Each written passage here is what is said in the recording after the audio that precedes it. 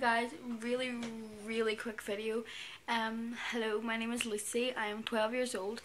Um, my YouTube is like brand brand new. So I'm just going to tell you really quickly what it's going to be about.